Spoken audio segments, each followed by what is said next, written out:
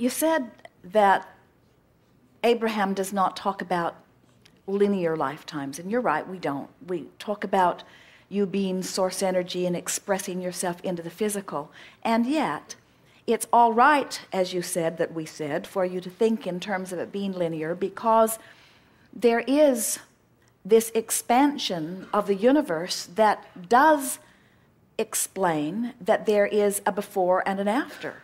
In other words, as we're chewing here together in this gathering, we are literally adding to the expansion of the universe. It has been a wonderful day of stepping out there into a new place. So that means that before we had this interchange, the universe was less than it is now, which means it has become more. So we want you to realize that as the non physical energy that you are, as you come forth into yet another physical body, you are adding to this expansion. And in that sense, it is linear in that you're not going back. You're not ever going to go back to a universe that is less expanded. Mm-hmm. Now, the time factor is just really a focusing mechanism more than anything.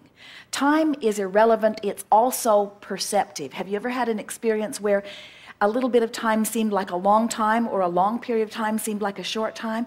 Time is really a perceptual thing and it has to do with alignment. You can get into a space where your desire about something is clear and your full expectation of it is in place, and time will literally stand still for you while you devour it with more detail.